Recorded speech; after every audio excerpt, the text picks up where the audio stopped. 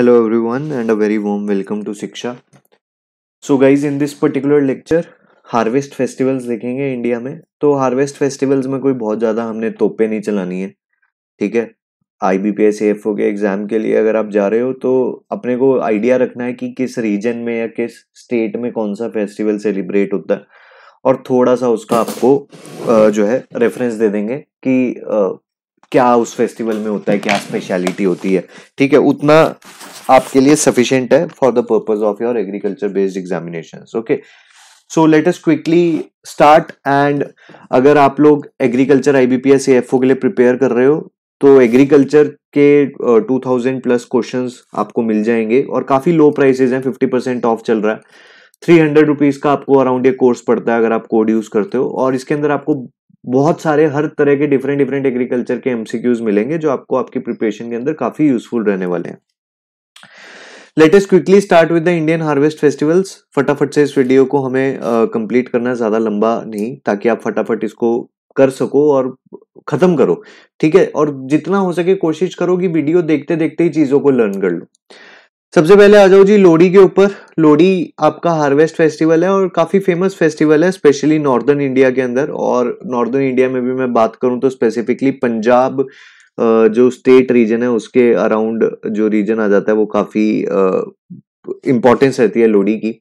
Hindus and Sikhs दो religions के लोग इसको सेलिब्रेट करते हैं। एंड पंजाब जो है, वो क्रक्स है, लेकिन आपको हरियाणा, हिमाचल, जम्मू एंड कश्मीर में भी ये सेलिब्रेशन लोहड़ी के बनते हुए एंड हार्वेस्ट सीज़न की ऑनसेट को बेसिकली ये मार्क करता है। Starting of the harvest season around January month में इसको सेलिब्रेट किया जाता है। Makar Sankranti again north India का एक इंपॉर्टेंट हार्वेस्ट फेस्टिवल है और इसको one of the oldest harvest festival India में कंसीडर किया जाता है। काफ़ी कलरफुल फेस्टिवल ये uh, होता है। All right then we have Pongal Pongal जो है स्पेसिफिकली फेस्टिवल है तमिलनाडु का और तमिल के अंदर जो वर्ड है Pongal is a Tamil word और इसका मतलब होता है स्पिलिंग ओवर तो बेसिकली ये एक बॉइलिंग राइस फेस्टिवल होता है, इसके अंदर बेसिकली होता क्या है पॉट के अंदर ना चावल रखा जाता है बहुत सारा और फिर उसको बॉईल किया जाता है और उसको तब तक बॉईल किया जाता है जब तक वो जो मटका है, जो पॉट है, उससे ओवरफ्लो ना हो जाए। ठीक है, इसीलिए इसको पोंगल कहते हैं।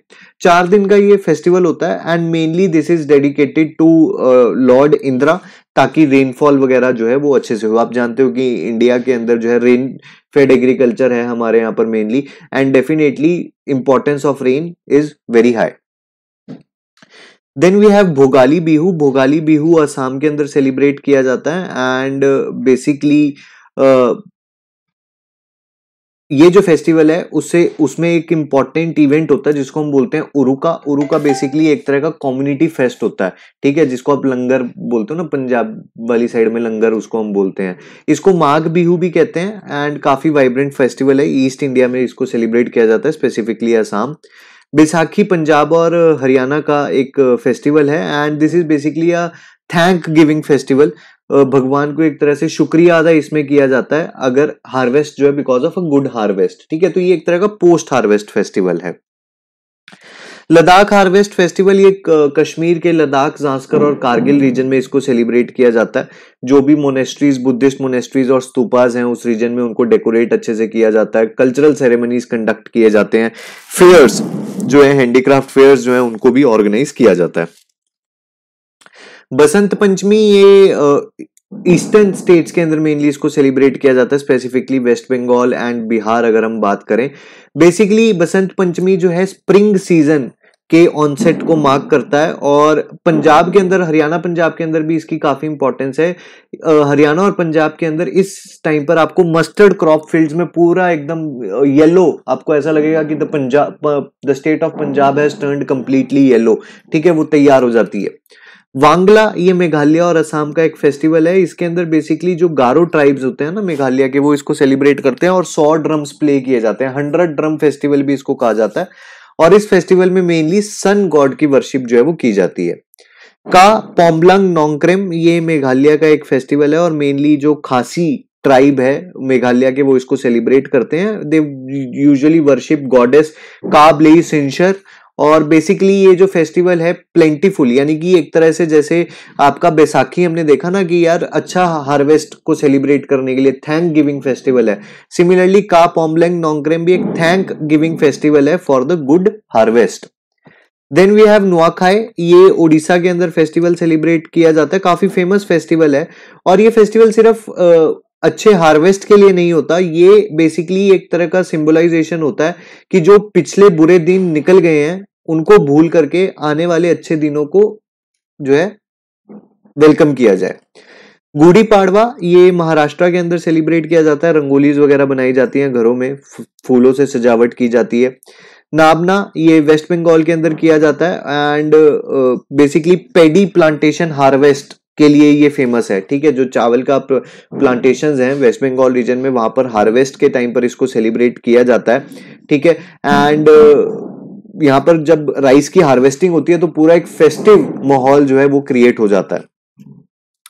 Then we have Onam Onam Kerala का है and basically different different parts में केरला में इसको सेलिब्रेट किया जाता है और बेसिकली जो ओनम फेस्टिवल है this is the arrival of Mahabali ten days arrival of Mahabali and basically we are not going to go into the details of the legend of Mahabali और the fairy tales of Mahabali बस आपको इतना याद रखना है कि केरला का festival है।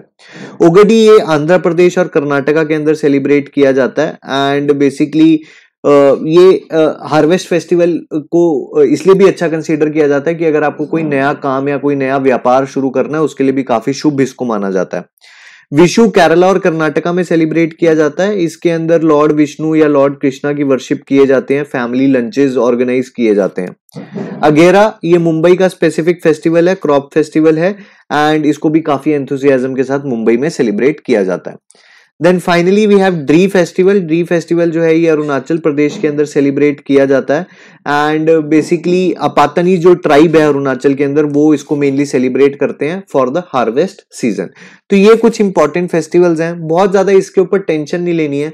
मेनली तो आपने फेस्टिवल का नाम और रीजन जो है वो याद करना है। ठीक है, वो इंपॉर्टेंट है। अगर वो क्वेश्चन पूछेगा तो ज़्यादातर 80 से 90 परसेंट चांसेस यही है कि वो ये पूछेगा कि फॉर एग्ज़ाम्पल द्री फेस्टिवल जो एक हार्वेस्ट फेस्टिवल है, ये कौन सी स्टेट के अंदर सेलिब्रेट किया जाता है? या अगेरा कहाँ सेलिब्रेट किया जाता है? उगाड़ी कौन सी स्टेट में सेलिब्रेट किया जाता है? ओनम कौन सी स्टेट में सेलिब्रेट किया जाता है? So these are the probable question okay so this was the quick video guys and ये इंफॉर्मेशन अगर आप कर लेते हो तो हार्वेस्ट फेस्टिवल से अगर क्वेश्चन आता है तो वो आपका गलत नहीं होगा। Now I will see you in the next lecture till then take care and do not forget to subscribe the channel and share it as well see you in the next class take care and bye